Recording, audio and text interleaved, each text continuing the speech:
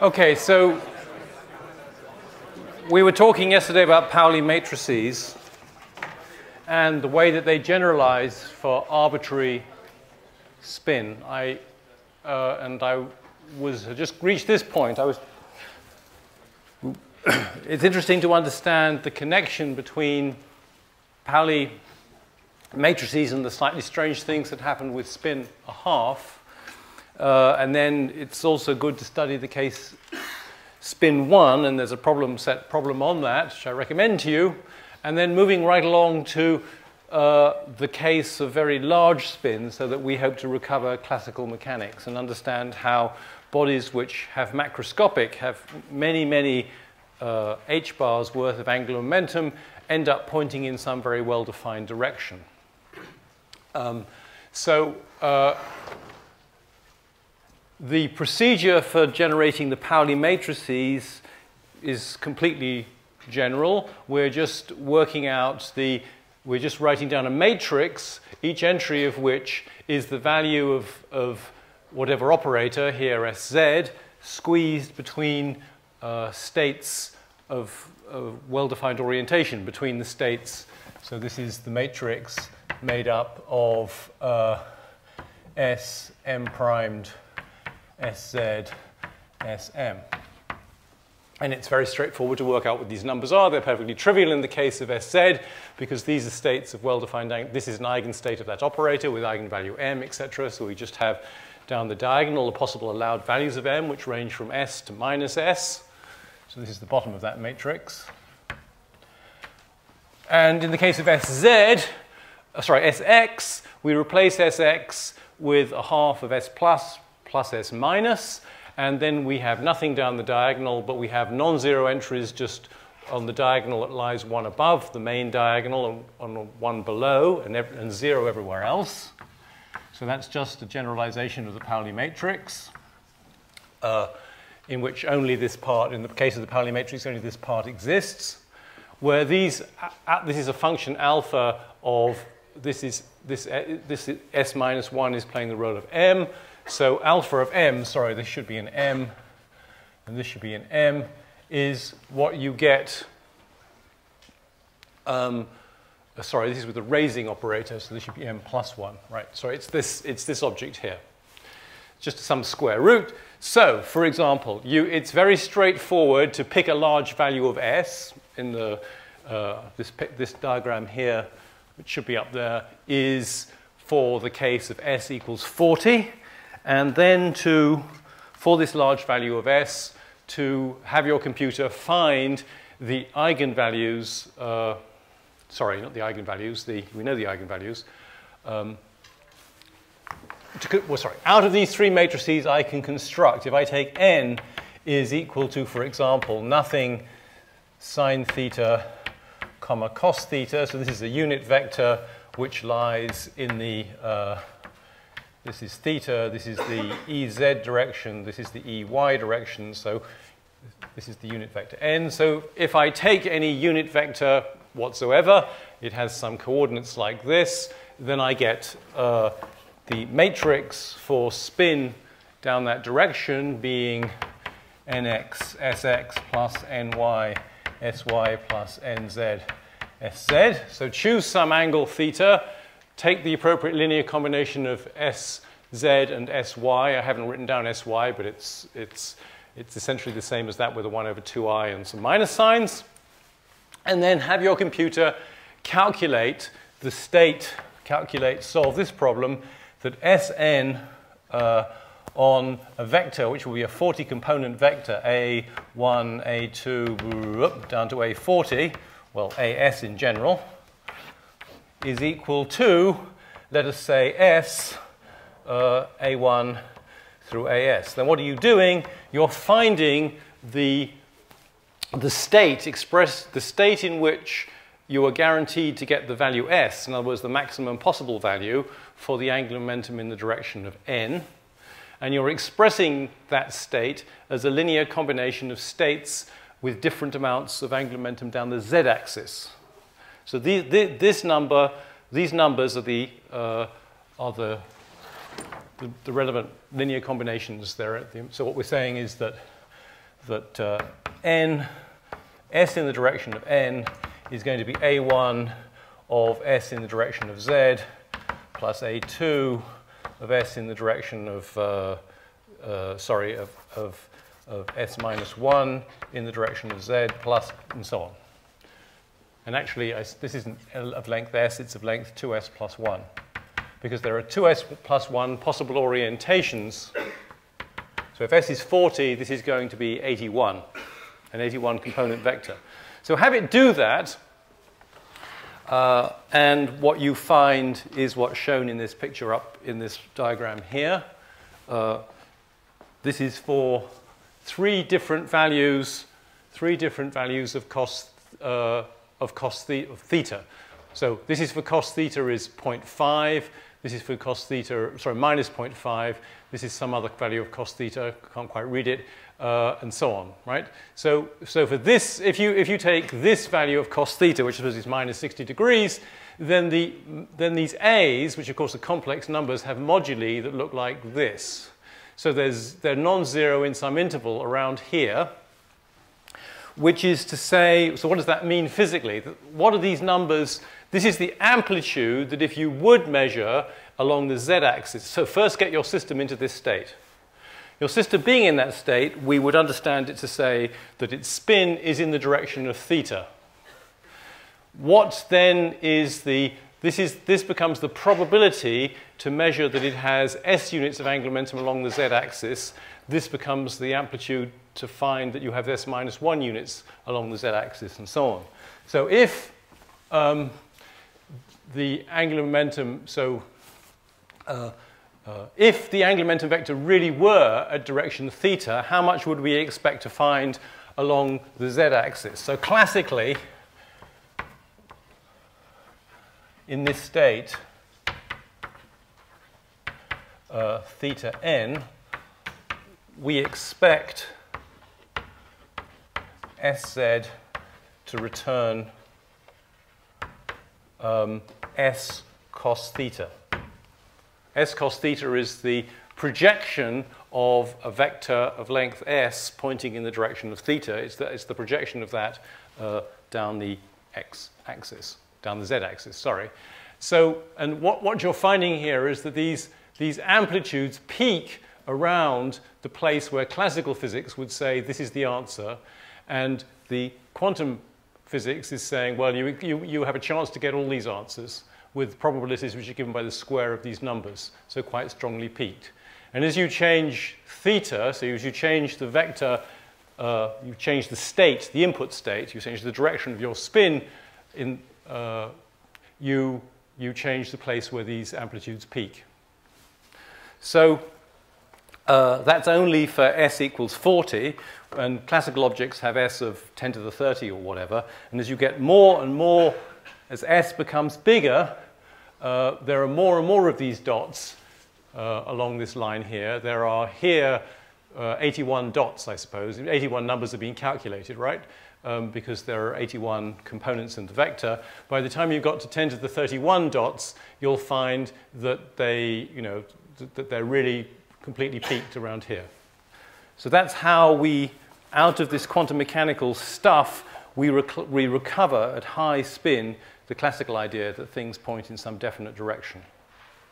And you can go on to show that the, uh, that the uh, expectation value of Sy, which classically should be, um, should be S sine theta, is indeed S sine theta. And what's more, the uncertainty, you can work out the RMS, you can work out what the expectation value of Sy squared is, and you find that that's essentially the same as the expectation value of Sy itself squared. In other words, there's, no there's very little uncertainty at high S in what you will get for Sy.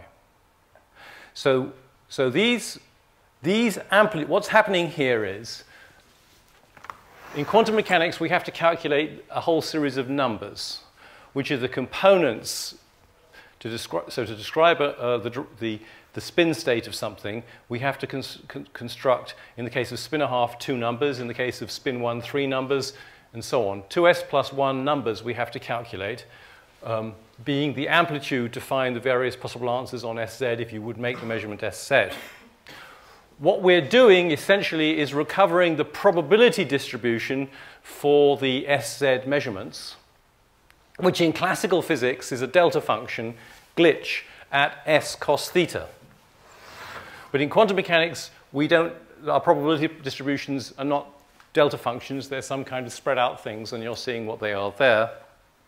But as you go to higher and higher spin amounts, the probability distributions narrow down around the direction of spin, which classically, so in classical physics, we say the direction of this spin is given by the Euler angles, or by the, by the, by the polar angles uh, theta and phi. We just have some completely definite, um, oh, come on, you stupid thing. Uh, we have some completely definite uh, direction, and what uh, whereas in quantum mechanics, we need a whole load of numbers because we're defining a probability distribution.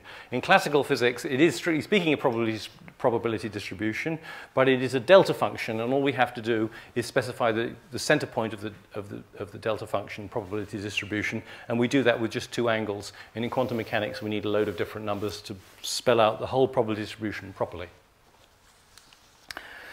Now, the other thing I wanted to say on this topic of you know, relating quantum mechanical levels of angular momentum to classical levels of angular momentum is, uh, is the importance of this. So we know that S squared has, uh, the total angular momentum operator has E values S, S plus 1, which is clearly greater than S squared. And remember, S, this thing came into the world as the maximum value of the angular momentum around the given axis. So, and how much greater this is than this depends on the value of s. So, when s is a half, we have that s, s plus 1 is clearly equal to 3 quarters, which is 3 times the quarter squared, um, sorry, a half squared right? This is the maximum value. And that's telling us that uh, you can have, you always have a third of your spin down each of the three axes uh, if you have a spin half particle. And the most you can ever know is whether one component is pointing this way or that way. But we never remotely get the spin properly aligned with one axis because there will always be two units of angular momentum somewhere or other in the, in the plane orthogonal to that chosen axis. Uh, so when we have s is 1, we have s, s plus 1 is equal to 2, um, which obviously is 2 times 1 squared. So now the, the amount of angular momentum we can have down one axis is, twi- is, is, a, is a whole half. Here it was only a third. Now it's become a half of the total angular momentum. And each, each orthogonal each direction uh, in the perpendicular plane has, has less than in the direction that you've chosen to align the angular momentum with. As you go down to large values of s, you have that s, s plus 1 is practically equal to s squared because s because obviously s squared is going to be by definition bigger than s. Um, and that means that we can get essentially all of our angular momentum pointing down a given axis. So, so, the important message is from this that we're familiar with this regime where we can get something to point in a well-defined direction. Uh, but the atomic world works in this regime where there's always loads of angular momentum in, in the directions that you haven't been working on. Okay. So I now want to turn to a new topic, which is the addition of angular momenta. The last thing we have to do with angular momentum.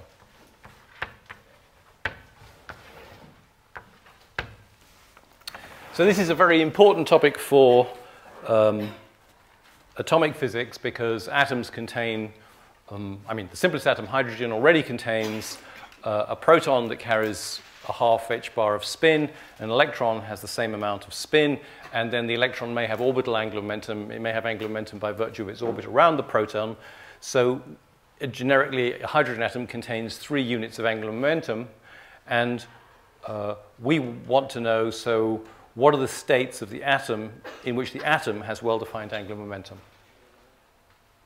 So we're going to study uh, and this is an application of the machinery that we introduced, I guess, early this term to discuss composite systems. This is a classic, uh, this is an application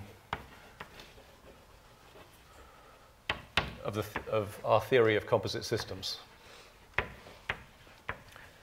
So if you feel unsure about the theory of composite systems, please go back and have, a look, have another look at it, because this is what we're going to be applying. So all that stuff about Einstein, Podolsky, Rosen, etc. what underpinned that. Because what we're going to do is we can, we're going to consider two gyros. We're going to have uh, we're going to have one has J1, so it has, has, has total J, J1, J1 plus 1. So it has M, M lies between minus J1 and J1. So that's the, the rate at which this gyro spins is fixed by some servo motor or something, right? It's, and it's spinning at this rate. And we're going to have gyro 2, um, which obviously is going to have total angular momentum squared is this. So, so this will be m1, and m2 is going to lie between minus j2 and j2. So we've got these two gyros. Uh, there might be two objects belonging to a navigation system, and we're going to stick them inside a box. And they're not going to talk to each other. They're going to have, there's going to be no Hamiltonian, there's going to be no coupling, physical coupling between these two gyros at all. But we are going to put them in a box, close the lid, and then say, hmm, so what are the states in which this box has well-defined angular momentum? And they will turn out to be, what we will find is that when the box has well-defined angular momentum, if you open the lid and, and ask what happens if I look at the angular momentum of gyro 1, I will get a variety of different answers. It will be uncertain what I'll find for gyro 1, and gyro 2 will have an angular momentum which will be correlated with gyro 1. So when the angular momentum of the box is well defined, it has a definite amount of angular momentum and it's pointing definitely in some, well, you know, it, the amount parallel to the z-axis is, is definite. When you look inside the box, you'll find it is uncertain what the angular momentum of the bits are. And we'll explain physically that, that it's a physical necessity that that's the case. That's not mysterious. Uh, but, but we'll, I hope, make it, make it evident that that's so. Right. But the moment we're going to address this kind of mathematical problem, we know that the states of the box, oh, no, no, no, no, sorry. So the states, we have, we have two sets of complete, of com, complete sets of states. Complete sets of states are going to be J1M. There's a family like that, and there's a family J2 M2. Sorry, this should have an M1, shouldn't it? Since we know what, what the total angular momentum of the first gyro is, the only thing to discuss is what its orientation is. And if I consider the set of states like this, J1, M1, uh, with M1 ranging between minus J1 and J1, that's a complete set of states for the first gyro. This is a complete set of states of the second gyro. In other words, um, we will be able to write any state of gyro, gyro 1 as some sum uh, a a m one j one m one etc. Right. So what are the states? What, what's a complete set of states of the box? It's the set of states J1, M1, J2, M2, right? We, we discussed that, that if we have a system A and a system B, a complete set of states uh, is obtained by taking a member of the complete set of A and multiplying it by a member of, a, of an, any other member of the complete set of B. Uh, if you take linear combinations of those, you get everything. In other words, the box can quite generally, the state of the box can be written as some sum of B uh, M1, M2, J1, M1. Whoops, that's meant to be a pointy bracket. J2, M2.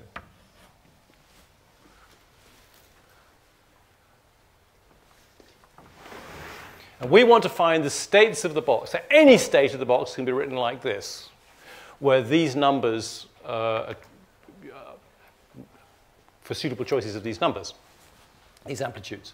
What we want to do is find the states of the box which are eigenfunctions of the box's angular momentum operators. And do you remember that when we discussed these things, these composite systems, we had that, um, that you added the operators of, of systems, of, subsystems, and, it, uh, it, and you multiplied their and you multiplied their. That's how it worked. So we want to consider now what the relevant operators are. Well, we're going to have for gyro 1, we have j1 squared, we have j1z, and we have j1 plus and j1 minus the raising and lowering operators, where this is equal to j1x plus or minus i j1y. And of course, we will have the same kit of operators for the for the second gyro. That's for gyro 2. And then for the box, we will have we will have j squared, which will be j1 vector plus j2 vector squared. And we will have jz, which is equal to j1z plus j2z and we will have j plus minus, which is equal to j1 plus minus plus j2 plus or minus. So we add the operators belonging to distinct systems uh, here because it's a squared, you know, right. This thing should be the vector operator belonging to the box squared. So we add the individual, the, the vector operators belonging to the individual boxes. So we have to do a bit of, these, these are fairly straightforward. We have to do a bit of footwork on this. So let's find out, let's, let's expand this. We have that j squared for the box is equal to j1 plus j2 dotted into j1 plus j2. Um, and this is not, I mean, this, there's nothing funny going on here because the operators belonging to distinct systems, another, another thing we covered, in the whole in the composite system discussion, operators belonging to distinct systems always commute. So we can multiply this out just as if they were ordinary, weren't operators, but just ordinary boring vectors, and find that this comes to j1 squared plus j2 squared plus j1 dot j2 twice over. This is because j1i comma j2j commutator vanishes operators belonging to distinct systems always commute. Well, this is fine. This is in our list of operators.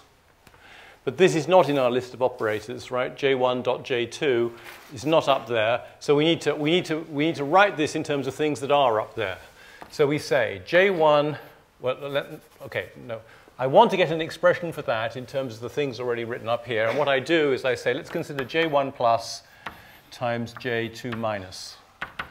That is j1x uh, plus i j1y, j2x minus i j2y, which is going to be j1x dot times j1x times j2x plus this on this will give me a j1y J2y, which these are two of the components of the elements that are buried inside the J1.J2. But I get other stuff, unfortunately, which is I get plus i J1y J2x minus J1x J2y. So this I want, this I don't want. Uh, but we can get rid uh, of this by arguing that if I write down J1 minus J2 plus, so reverse the plus and the minus, this will, everything will carry across. The first two terms will, will emerge.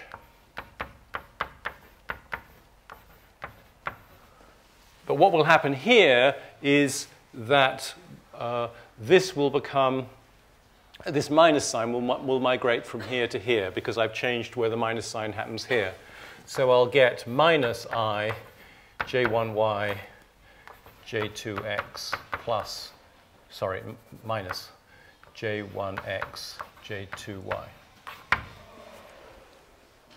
So when I add these, the left sides, these pesky terms that I don't want will go away, and I will have that j1 uh, plus j2 minus plus j1 minus j2 plus is equal to twice j1 dot j2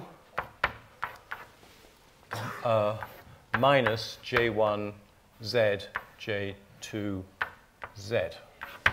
Right? Because these two taken together uh, make j1 dot j2 minus the z bits, right, which are inside here.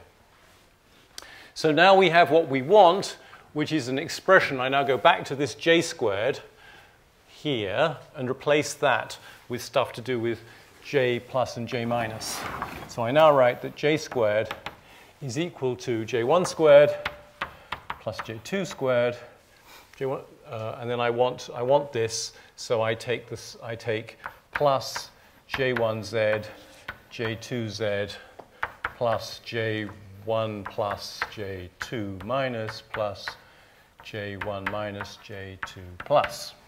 So this disgusting mess on the right expresses j squared, the total angular momentum operator of the whole box, in terms of operators whose action upon the states of the box I know. That's the key thing. What I've been doing here is getting an expression where I know what every one of these operators does on those states, those states of the box, J1, M1, J2, M2, right? Uh, I do not know what jx or jy does to those things. It makes a disgusting mess, but I know what every one of these operators does to those things. That's what I've, that's the purpose of this algebra. Okay, so now, now a little physical argument. Suppose you've got your first gyro pointing in the z-axis, sort of aligned with the z-axis, and you've got your second gyro pointed, aligned with the z-axis then you'd think that your total angular momentum would be, would be the sum of the angular momentum of the two gyros. Because they were both parallel to the z-axis, you would argue they were parallel to each other, and you'd have uh, the total angular momentum in the z direction. So what we do now is we investigate J1, J1, J2, J2. This physical argument suggests that this is the object uh, j1 plus j2, comma, j1 plus j2. So this is a state of the box in which it has this much angular momentum and all of it pointing down the z-axis on the grounds that if you take two gyros, both pointing in the z direction, surely you've got a box with, surely their angular momentum just add. So we, we want to show that this is the case. Physically, it seems reasonable physically. Is it true? we, we check that it is true by applying the relevant operators to both sides, right? So if I, if I do jz on this, I'll just say jz on the, L, on the left-hand side. What do I get? I get j1z, uh, j2z, uh, plus j2z, right? Because j total z is the sum of the z operators of the, of the gyros operating on the right-hand side, which is j1, j2, j1, j1, j2, j2. So the way these composite operate system operators work is that this looks at this, and we get j1, because this is an eigenfunction of this operator with, with this eigenvalue, times j1, j1. This stands idly by j2, j2. Uh, so that's that. And then I have plus. This looks at that and produces a j2. j1, j1 standing idly by. j2, j2 produced as the eigenket. So indeed, we get j1 plus j2 times what we started with, j1, j1, j2, j2. So that confirms that this object is an eigenfunction of this operator for the box with the expected eigenvalue. Yep.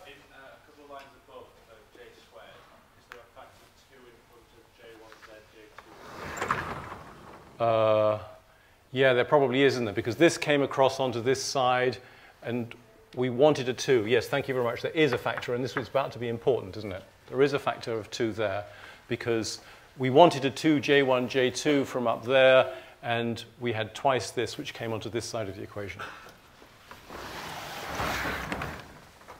So, so that's, that's that. Now we check J squared. What does J squared do when it's applied, uh, uh, well,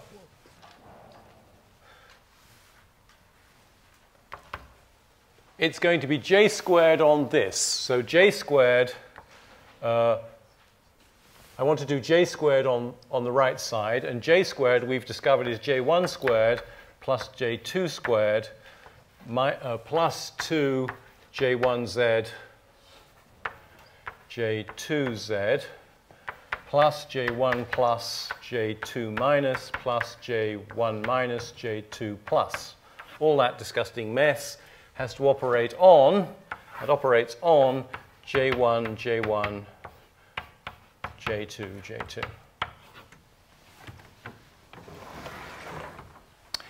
Well, this operating, this is an eigenket of this operator with eigenvalue j1 j1 plus 1.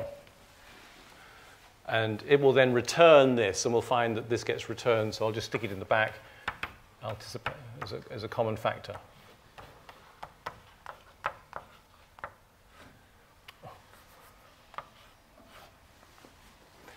Similarly, this one looks at that and produces J2, J2 plus 1 times itself.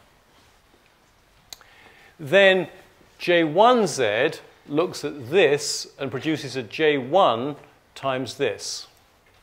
Um, and J2 looks at this and produces a J2 times this. So now we have a plus 2 J1 J2. And that's the action of this operator on this product.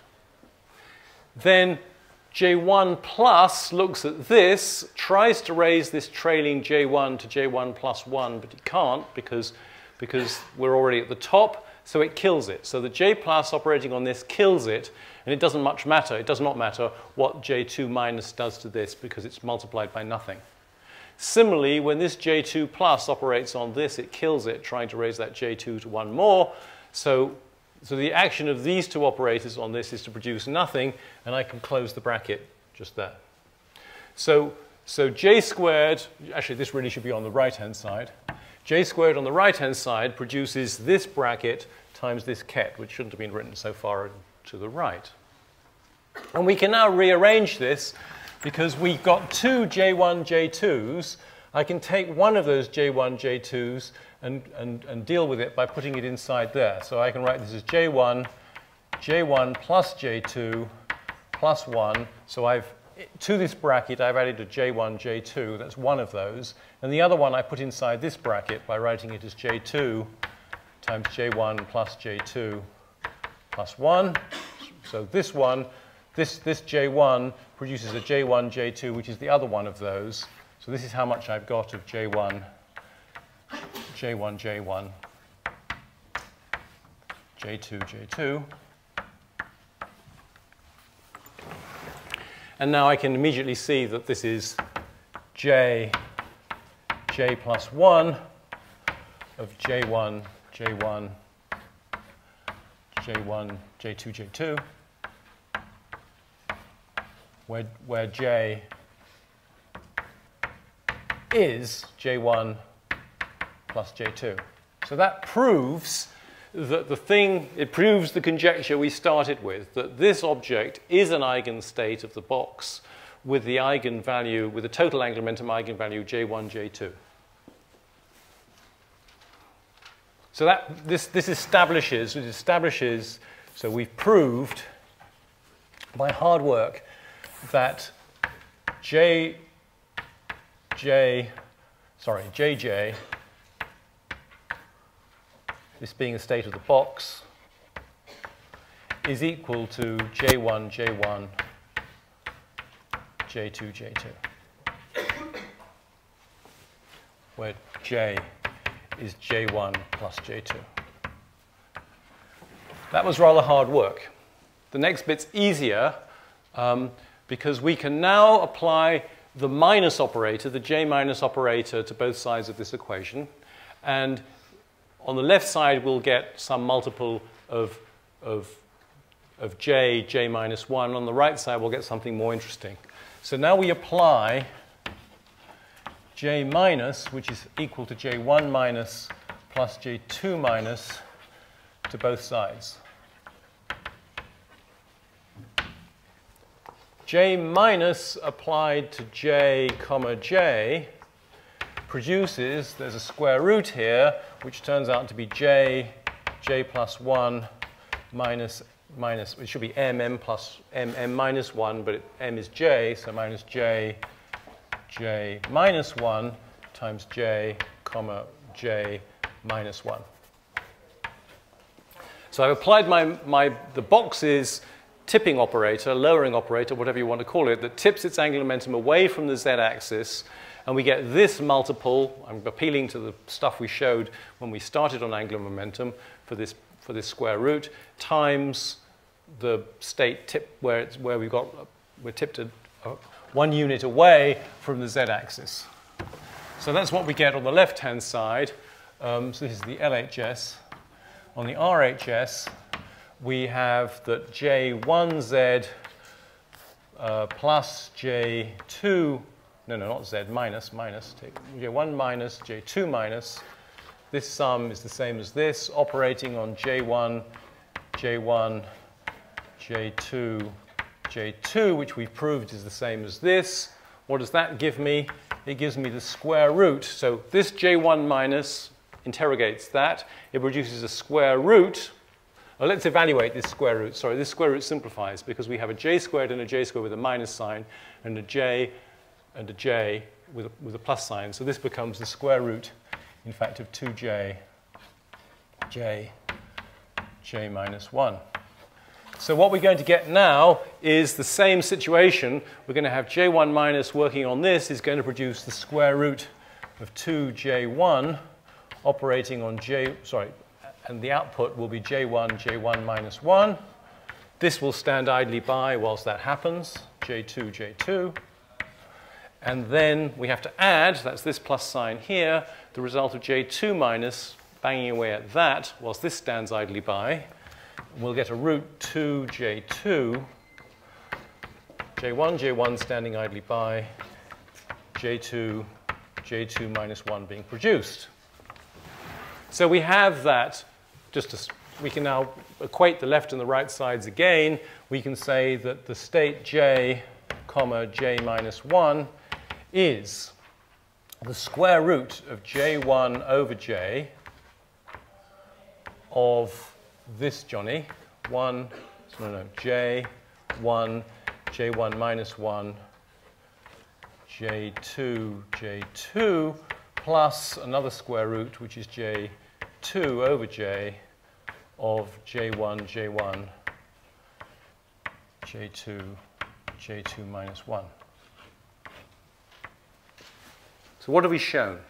We've shown that when the box has angular momentum that's uh, tipped a, a, a, touch away from the z-axis, if you open the box, you, there are two, and look, in, and look at the individual gyros inside the box, there are two outcomes you might find you might find that the first gyro is tipped away from the axis and the second is still parallel to the axis. Or you might find that the first gyro is on the axis and the second is tipped away from the axis. And it's inevitable that that has to be the result. One of these gyros has to be off the axis, but they can't both be off the axis, because then we would have only, we'd be two units of angular momentum down the axis short. So what we've got here is correlated states of gyros. The gyros have become entangled. In this state in which the box has well-defined angular momentum, the, the results of measurements of the two individual of the gyros in the box are in, are, have become entangled. Let's make a picture now to help organize these calculations because we've just begun, unfortunately, on what in principle is, a, is an extensive exercise of calculating, but from now on it's almost mechanical. The way to go is to, uh, is to, is to put your original state, j, j, up here. It's why I'm putting it up there? Because the origin is somewhere like here, and this is j units up from the origin, and this is, this is j units down, right? So here we have a minus j. It's j units down. Here's the origin. We started with this state and established what it was, that it was J1, J1 times J2, J2. Then we used the lowering operator, J minus, to move around this semicircle to a state here that we've just constructed, which is J, J minus 1, which turns out to be a linear combination of this and this. And we found out what the factors are that make the linear combination. And we can now apply, we can now take this state and we can apply our lowering operator on this to generate a state here, which will be j, j minus 2. let's imagine doing that. We won't do that, but just imagine doing that. If we would apply the j minus to this, we would get some multiple, some wretched square root times that target. If, then when we apply j1 minus plus j2 minus to this side, we get four terms. Because each of j1 minus and j2 minus works on this and this. Uh, so each of these two things generates two terms. When j1 minus works on this, we get j1 j1 minus 2 times j2, j2 standing idly by. So let me just do this. We can say that j, j minus 2 is an amount of, and we could work out what this amount, I mean, it's straightforward to work out what this number a is going to be, but we won't do it, uh, of j1, j1 minus 2 times j2, j2 then when J2 minus works on this, it produces some amount of J1, J1 minus 1, J2, J2 minus 1. Right? Because, uh, because it lowers this to J2 minus 1 whilst this stands idly by. Then when we use J1 minus on this, we get some more of what we've already got. We get, this gets lowered to J1 minus 1, and we get some more of this, which we can absorb in this B. And then when J2 minus works on this, that goes down to a J2 minus. So we get plus another amount of J1, J1, J2, J2 minus 2. Physically, what does this say? It says that if your box has its angular momentum tipped two units away from the z-axis, if you open the box, three you may find three things. You will find one of three things. Either that the second gyro is still bang on the axis and the first is tipped two away, or that each of them is tipped a bit away from the axis, or that the first one is bang on axis and the second one is tipped two away. So it's perfectly reasonable what you see when you open the box is what, in some sense, if you thought about it beforehand, you would have expected to see. This apparatus will deliver you the numerical values of A, B, and C, and therefore tell you the probabilities of those three outcomes. So we have, we're getting complete information of what we will see if we do open the box. And we can plod on like this uh, until we're completely worn out. Um, the expressions will become, you can see, it looks as if these expressions as we go around here are getting more and more horrific, because if we apply j, if we, do an, if we do another lowering on this, apply j minus to this and j1 minus plus j2 minus to this, this will, have a, be, this will give us a term j1, j1 minus 3, whilst and so on. So we'll have more terms. Mercifully, in the real world, when you're dealing with small values of j, uh, there comes a point at which this, you, the lowering operator, j1 minus, will simply kill this because for example, if J1 were the number 1, this would be J1 minus 1. And when the, when the lowering operator worked on that, it would try and lower this to a number more negative than that, and it would kill it. So the expressions get more and more complicated as we go down here, and it turns out that when you go along here, they start to simplify because you get more and more of the lowering operators killing their targets. And the, you, get, you get sorted out, and you'll find that you arrive down here at j comma minus j, you will find that this is simply what it has to be physically, but you will discover that it is j1, sorry, j1 minus j1 times j2 minus j2. That is to say, you will find automatically you, that, that, that, when the box has its angular momentum in the minus direction, open the box, there's only one thing you can find, which is that both gyros are pointing in the minus z direction. And it's worth doing that, not in general j, but it's worth going all the way around, for example, for j, for each of the j's are equal to 1, or one of the j's equal to 1, and one equal to a half, say. It's good to see that that happens. So in order now to complete the setup, there's one more thing we have to do, which is, uh, well, strictly speaking, we should do some state counting, I suppose. Uh, why don't we do some state counting? Um, so the number of basis states.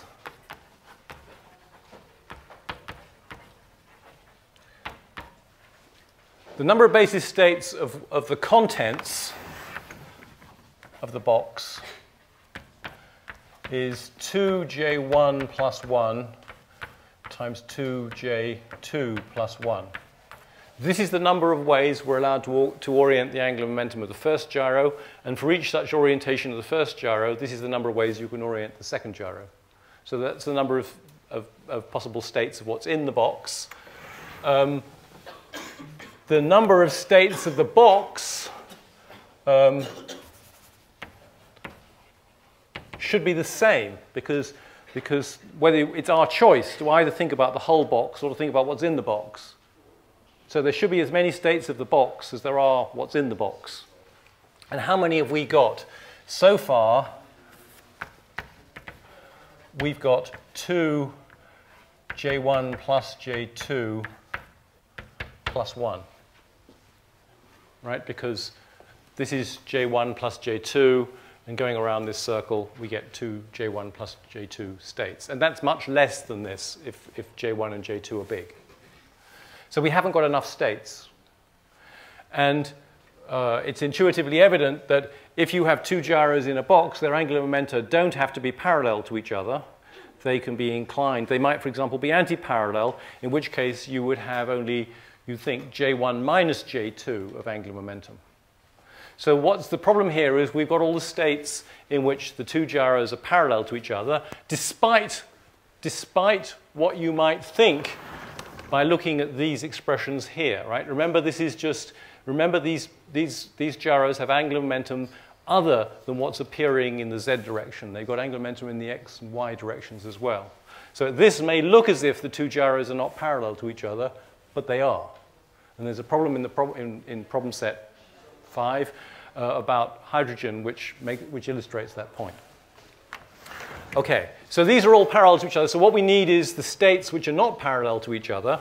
Uh, and uh, the way to go is to say, is, is, to, is to find what the, what the expression is for the state, for this state, which is going to be